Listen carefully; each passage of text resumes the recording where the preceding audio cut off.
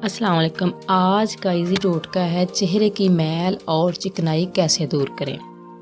अगर आपकी स्किन बहुत ज़्यादा ऑयली है और आपके चेहरे पर रैशेज पिंपल वगैरह हैं तो इसके लिए बहुत ही आसान नुस्खा लेकर आई हूँ।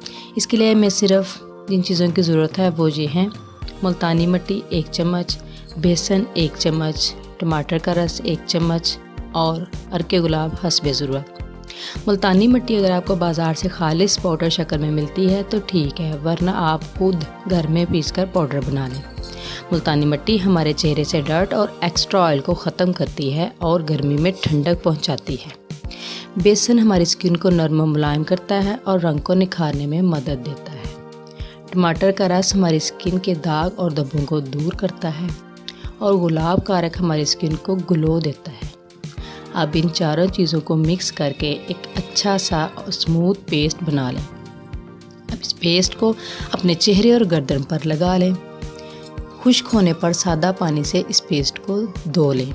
आप इस अमल को हफ़्ते में तीन से चार बार इस्तेमाल कर सकते हैं।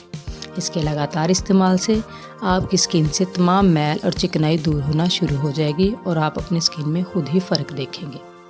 वीडियो को लाइक करें, शेयर करें और अगले इजी टोटके के लिए चैनल को सब्सक्राइब करें।